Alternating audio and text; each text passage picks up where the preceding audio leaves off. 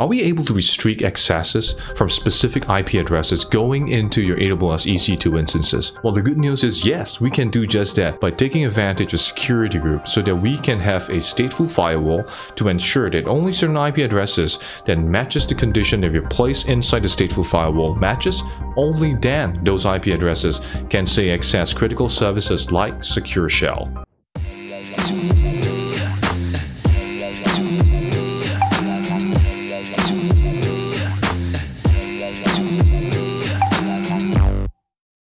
Key question to ask yourself throughout this tutorial today is how would the hackers do it? What kind of attack methods would they do prior to running an attack against the system? So right in front of us, I'm on my AWS console. And as you can see right here, we have a specific server called server 1 that we given a name for it. And you can see right here, we have public IPv4 address. So this is the IP address that we can access from the internet into this specific instance. So now moving forward, what would hackers do when they discover, say, a website, a server on the internet, is that they will begin the process of identifying services so that they can run certain specific attacks against those services. So now we'll switch over to Kali So Kali Linux is our attacker's machine. And here you can see we're using Nmap. So Nmap is a network mapping tool for us to identify services that are running inside an instance and at the same time identifying specific versions of it. So this result comes about because of several security settings, network security settings that you have placed inside your AWS instance. All right, so in this case, it can be a security group, it can be a network access control list that you allow the connections or communication from, say, the internet over into the EC2 instance. So in this case, we are able to detect three services. Right, so we have Secure Shell, we have port 80 as well as port 443 so http and https so we can see right here we have port 22 being opened up to the world so we are able to scan the IP address, and then determine what are all those services within it. So now the bigger question is, Secure Shell is a way for us to be able to remotely control an instance, right? Remotely control a server. So what we need to do is that this is a critical service and we want to ensure that we can tighten the access and the control of it. Okay, so say for example, I only want specific IP addresses to only be able to remote control in to that instance. So going back to the AWS console on EC2, we can see right here we have a specific server that's running. So let's go ahead and select on it. And once you select on it over here, you can go ahead and click on the security. And under security, you can see the inbound rules of the security group. So we have port 22, which opens up to the internet. So this is incredibly dangerous, meaning that anyone in the world could try to possibly attempt access into this service. So what we want to do is to go ahead and click on the security groups and we want to tighten the access for it. So in this case over here, you can see the following, all right? We can scroll all the way down and you can click under edit inbound rules so once you click edit inbound rules you have the following right? So the first part you have secure shell and now we can select under the source my ip all right so in this case my ip address is 220 255.2158 slash 32 so let's go ahead and click save rules for this so that only a specific ip address is able to connect to this particular service. So once you click save rules on this, we'll be able to only allow this IP address to access in. Alright, so this is how we can do it. At the same time, let's show you an example. What if we only allow local IP addresses to be able to access in? Alright, so let's go ahead and click under edit inbound rules. And in this case, alright, we want to change it to a local IP address. Okay, so you can see it over here we can either enter it here, all right, then we can have, say, specific security groups, so only other attached security groups are able to access into this instance, all right, or you have certain prefix lists, so you can select any of them here. So what I want to do now is going back into EC2, all right, and I want to see what are the IP addresses that are running within this subnet, so that only local IP addresses is able to access into Secure Shell, all right. So you can select on this, and you can click under networking. All right and you can see over here we have the following private ip address. All right 172.31.7.253, and you can click under subnet and once you click on under subnet over here, you can select under subnet and you can see the network access control list, you can see the details, you can see the route table and all this other information. So the most important part we're looking out for is IPv4 classless inter-domain range. So this is the one, right? 172.3.1.0.0 slash 20. So you can copy this.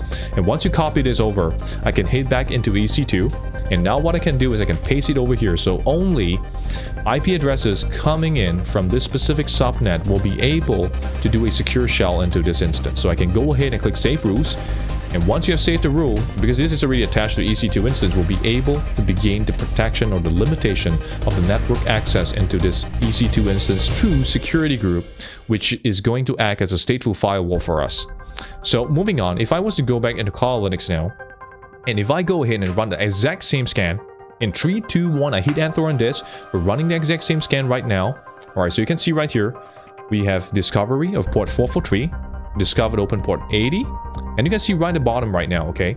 So let's take a look at what is the final result coming in from Network Mapper. All right, so we're scanning against all these different services, and in it's following, we have the completion, and we're port 80 and port 443. So we're able to begin the protection of the service of Secure Shell by limiting it to only specific IP addresses. And the even greater part about using AWS EC2 is that you can use Systems Manager, Sessions Manager to help you manage connections into the EC2 instance. So in this case, say for example, I was to go back into the EC2 and I go under the security groups, right, and go to EC2 dashboard, look at the running instances, right, and go ahead and click under security groups. And right now the question is, can we connect to this instance without secure shell at all. Alright, so if I click at that inbound rules, I can go ahead and delete the secure shell rule that we have right here. Go ahead and remove it. Click save rules. So now any form of administrative actions, we want to use AWS Systems Manager Session Manager to give us session connection into the system. By going into EC2 dashboard, select under instances, select on this specific instance that we have, and what you can do is click connect. And once you click connect, you have here session manager. Okay, so go ahead and click connect. And likewise, if you notice earlier, our security group no longer has secure shell being open to any IP addresses at all, and we have a session right here. I can enter who am I, I can enter ls, and I can see all these details of this specific EC2 instance, and we're able to manage it. And if I go over into Systems Manager, or I go back to the console, I enter Systems Manager, I select onto this service. So this is a way for us to manage EC2 resources instances at scale. So you can run commands into multiple EC2 instances. You can see right at the bottom left, you have Session Manager. You can click on it. And this is the place where you are able to access, likewise, starting a session against the specific instances that you have. And this makes it significantly easier for you to manage and secure critical services from being opened up to the world. And now what we want to do is under Session Manager, go ahead and select on the Preferences.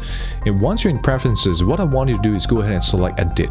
So what we want to do is now that we're shifting from Secure Shell to Systems Manager to help us manage all these EC2 instances at scale, what you want to do is you also want to be able to audit and review all these different kind of instructions and commands that the administrators are sending over into all these instances. So what you want to do, go into Preferences, and you can see right here, scroll down a little more, and you can see this particular section called CloudWatch Logging. Go ahead and select CloudWatch Logging and enable. Alright, so in this case, we have the following. Choose a log group from the list. So go ahead and select Session Manager log group. Alright, so you can create it inside CloudWatch. So once you're done with this, go all the way down and click Save. So once you have saved this over here, we can begin the process of logging all this commands, instructions, and sessions that are being connected into different instances. So now let us head over into EC2. So go ahead and select it. And now let's go ahead and select onto our current instance is running and select connect. All right, so here you select session manager and go ahead and click connect on it. So once you connect on it over here, so this gives us a session. So what I want to do now is go ahead and enter, say for example, echo hacker law, hit enter on that. All right, so we have done that command and instruction is being sent over. And what you can do now is if you go back into Session Manager under Systems Manager, go and select on it, and go to the bottom left side, you can see right here we have Session Manager, go and select on it. So you can see here, we have one existing session is happening. Okay, so you can see right here, and always, at any point in time, you can always terminate the session. Okay, and of course, we have session history. They can see all the sessions that are happening. And what you can do now is you can head over in CloudWatch. Okay, so here we're at CloudWatch, select under logs, under log groups, go in and click on it, and this will show you all the log groups that you have, and we'll select Session Manager Log Group. So this is the one we selected earlier, remember? Go in and select on it, and you can see one log stream right here. Let's go ahead and click and open it up. And you can see right here, okay, view as text, and we can see the following information. All right, here, session data, echo, Hackaloy, Hackaloy right there. There are many different ways to restrict the accesses to different instances. There are many different ways of managing who can access what into your AWS account and into your workloads. And it requires thoughtful, precise, and thorough evaluation of your environment, your requirements, and what are the workloads you'll be deploying into those environments. So this is critical in idea of developing your network design, your access control systems, not just on the identity access management part, but so many different services that you can take advantage of to help you be able to tighten access controls in your AWS workloads.